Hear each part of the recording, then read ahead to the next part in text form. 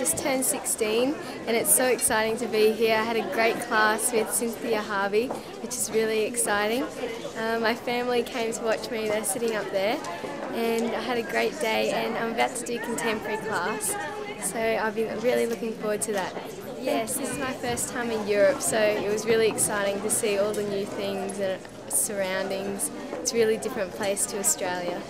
So it was really different to what we do at home, and it's really good to see all the different styles there are, especially with Miss Harvey, who's American.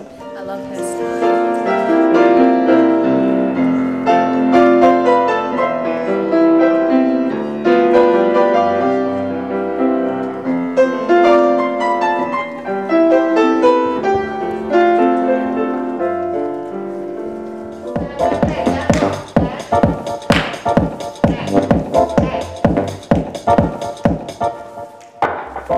absolutely loved it. It was so different. It had lots of character and everything about it had a meaning. Yeah, I really enjoyed it. Much different to my contemporary back in Australia, but I certainly enjoyed it.